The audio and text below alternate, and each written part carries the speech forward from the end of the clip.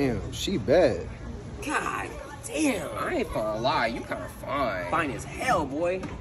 Alright. Thank you. Okay, let's cut to the chase. Are you gay? Oh, nah. I'm straight.